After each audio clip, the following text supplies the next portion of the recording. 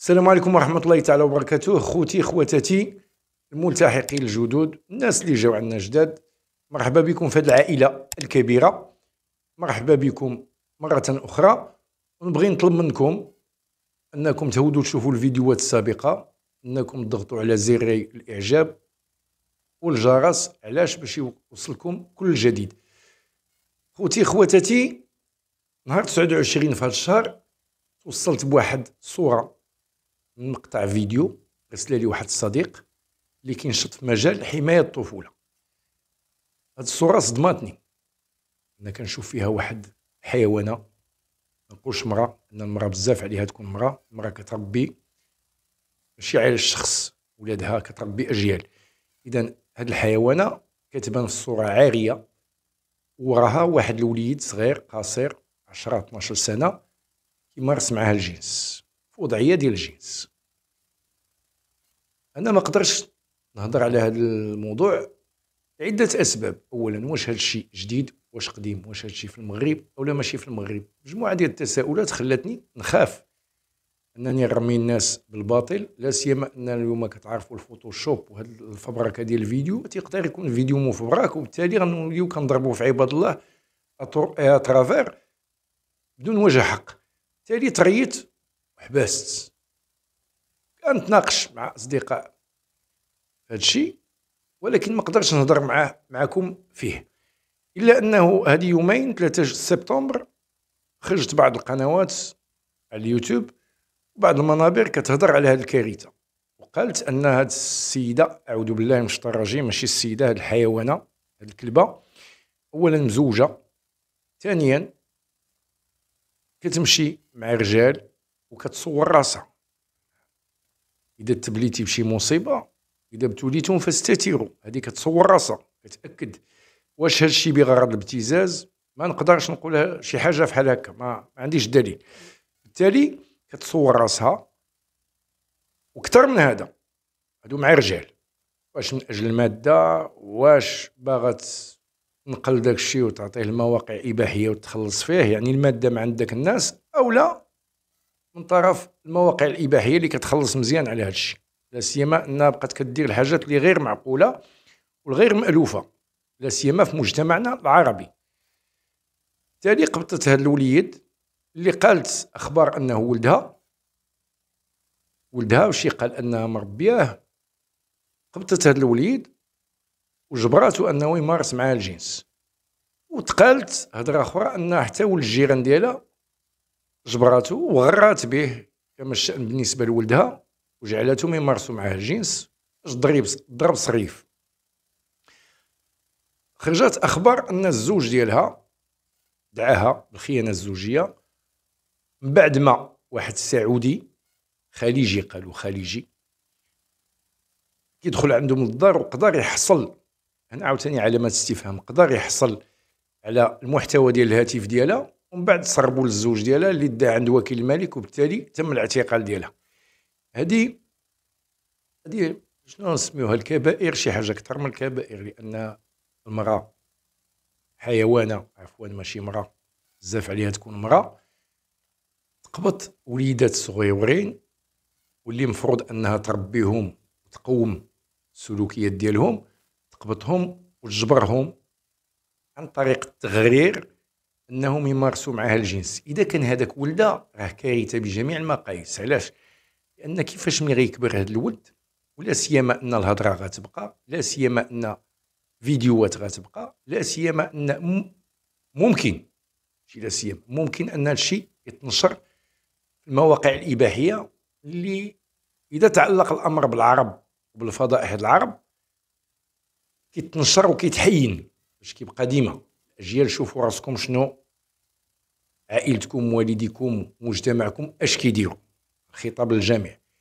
تالي هذا الولد هذا ملي غيكبر ويشوف هاد المناظر ويعقل على راسو بطبيعة الحال العقل الصغر ما كينساش انه نعس مع مو اللي مفروض انها حملاته في كرشه وولداتو وبالتالي غينعس معها ما غيتقبلش هذا الشيء. اذا عقد نفسية بالجملة غترك فيه.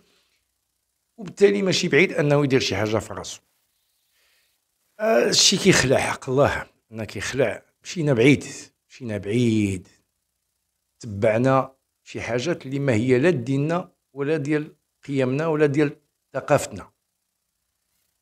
نتبعوا la pornographie. la pornographie هذوك ممثلين كيتخلصوا فحال الممثلين اللي كي الأفلام ديال الدراما وفحال الكوميديين اللي كيمثلوا الكوميديا هذوك ناس محترفين الفيديوهات أو التصوير البورنوغرافي باش يولي دابا بنادم في دارو هو يصور ويمشي يحط في المواقع الإباحية أو لا يمرر هاد الفيديوهات من خلال النشر ديالها. يبان بأنه شي حاجة exceptionnel في مجتمع عربي محافظ أو لا باش يربح الفلوس أو لا باش يبتز. بزاف ديال ما نقدروش نحدوا اشنا هو السبب الحقيقي وراء هذا الشيء اللي نقدروا نهضروا عليه هو أن هذه فضيحة ومصيبة. ما عندهاش ما عندهاش شيء اسم آخر. إحنا مراه وأعوذ بالله من قولها مرة ثانية. حيوانة تسخر أطفال صغار باش دير ال buzz وتضرب في ال tendance ديال البورنوغرافيا ولا ما عرفتش. ولينا كنشوفوا أن المألوف ما بقاش كيديها فيه الناس. ولاو خصهم الحاجة الغير مألوفة. آه، الجماع بين البشر والحيوان شي حاجة اللي غير مألوفة وغير طبيعية. هي اللي ولات كتعمل الحدث. بالتالي هاد الحيوانة هادي إذا كانت شدات خصها تاخذ أقصى العقوبات. لانها ماشي فقط عندها خيانه زوجية ماشي فقط كتشارك وهي مسلمة وعربية. في, نشر فيديوهات إباحية مخله للاداب وكتخدش الحياء وكتضرب الأعراف والقيم ديال دولتنا كما الشأن بالنسبة لباقي الدول العربية والإسلامية. وإنما هذه كتضرب الطفولة هذا اعتداء صارخ في حق الطفولة. هاد الطفولة هذه اللي غتخربق في حياتها. المفروض أن الأم كتحمي. ماشي الأم كتجيب ولدها يمارس معها الجنس طريقة بورنوغرافية. المفروض أن الأم كتربي ماشي كتفسد. هذه كتفسد هاد الولد هذا. هذا مسكين ضحية وليد صغير استغلات البراءة. شوف حنا حنا للأسف ديالنا ولينا إذا كان الإنسان مزيان خصنا نستغلوه ماشي نحافظوا عليه. الإنسان مزيان خصنا نحافظوا عليه ولكن للأسف حنا ولينا المزيان خصنا نستغلوه. واللي مسكين ماشي ذكي خصنا نستغلوه. واللي حشومي خصنا نستغلوه. بالتالي هاد الحيوانة هادي قبطت وليد صغيور وليد الآخر اللي ما بانش أنا كنشوف على اللي عندي في الصورة. ما نقدرش نحطها لكم لأن ما نقدرش حفاظا على العلاقة ديال الاحترام اللي بيني وبينكم وحفاظا على داك الوليد لأنه واخا ما غيبانش وجهه ولكن لو كور ديالو غيبقى مرسوم ويبقى مصور وقتاش ما رجع بعد ما يكبر غيشوف بأن داك الجسم ديالو اللي تأكيد غيعقل عليه من خلال مجموعة ديال الصور لا سيما في الصيف غيمرض اذا حفاظا عليه عليه وعلى هذاك الزوج مسكين. إذا كان باه ديال داك الوليد كان بالفعل ولدو ولدها. حفاظا على هاد الناس ما غنشروش داك داك المقطع اولا ماشي المقطع أنا ماشي محقين نشر المقطع هذاك التصويره سكريني وهذا ونشروها سهله ولكن لا ما نقدرش. أنا قلت لك العدة اعتبارات منها أنني كنحترم المتلقي وأنني كنحترم حتى داك السيد اللي الله يصبرو ان صعيب أنك تكون معاشر مع واحد السيدة. كما أن السيدة صعيب تكون أنها معاشرة مع واحد السيد وتحصل عليه هاد المصيبة هذه تحصل عليه هاد الجريمة النكراء اللي كتضرب القيم والمبادئ والأخلاق. القيم والأخلاق لا سيما القيم والأخلاق كتضربها بعرض الحائط.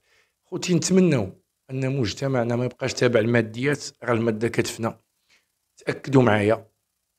وأنا غنعطيكم واحد الاعتراف. أنا دوزت الفلوس بزاف.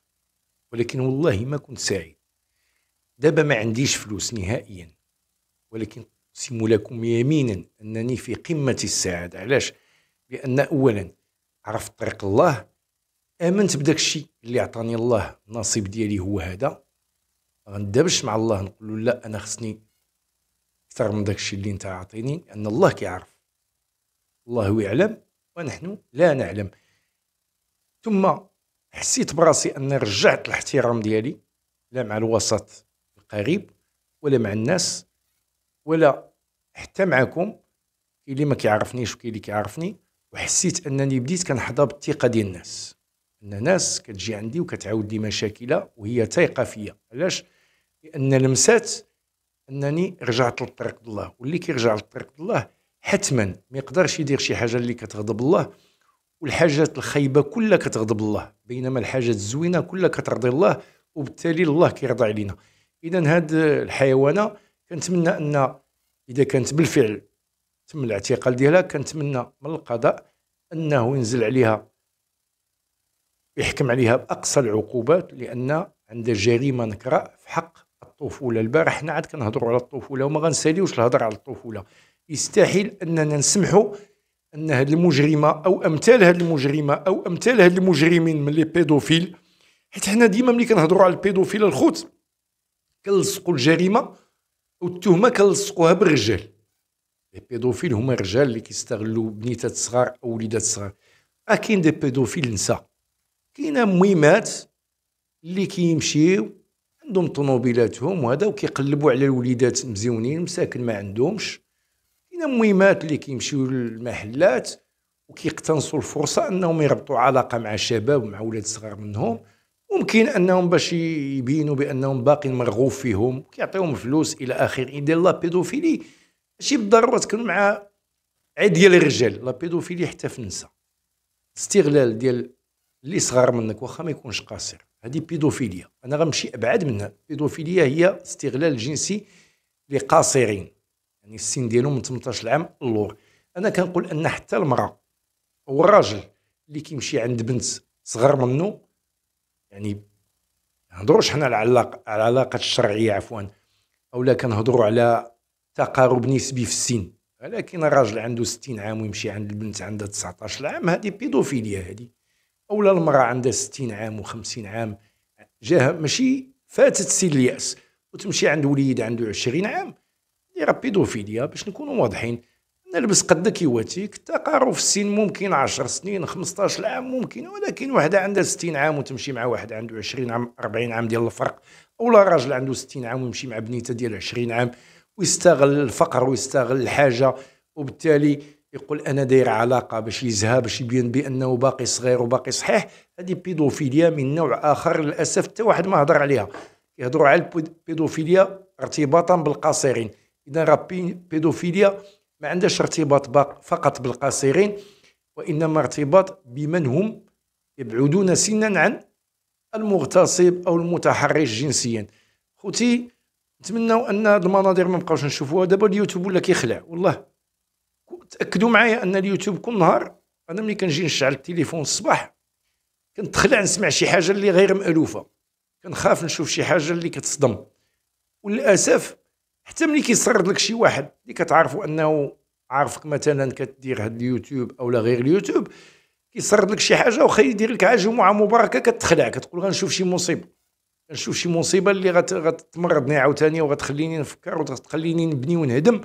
باش كيفاش نوصلها الناس وكيفاش نعبر على سخطي وامتعاضي من هذه السلوكيات اللي للأسف ولات كثيرة وكثيرة في مجتمعنا. ونطلب الله أن يحفظنا ويحفظ وليداتنا ووليدات جميع المسلمين وكافة الناس أجمعين يا ربي. والسلام عليكم ورحمة الله وبركاته.